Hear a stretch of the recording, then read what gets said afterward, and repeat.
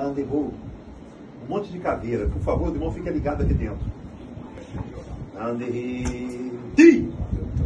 Aquela entidade, aquele espírito das trevas que faz ele voar, que faz ele fazer sinais, seja amarrado agora. Bem!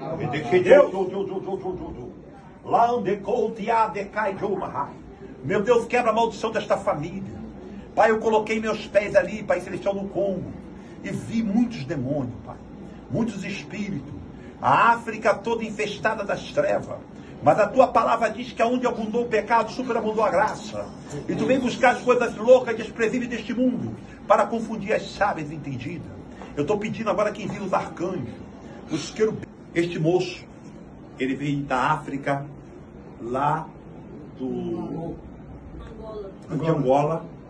O pai dele é bruxo. E ele também era bruxo. Numa igreja em São Paulo, ele se converteu e é crente. Veio aqui, tem três meses que está na igreja.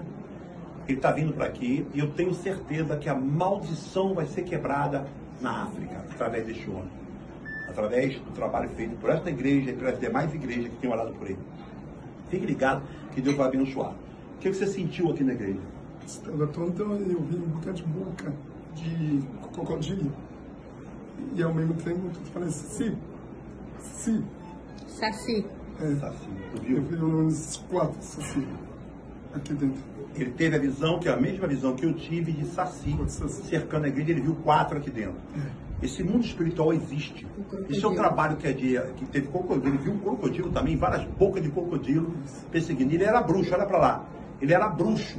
O pai dele é bruxo lá na África, mas a partir de hoje é lavado e remido no sangue de Jesus e ele é crente. O diabo persegue em nome de Jesus, não é assim? Isso Amém.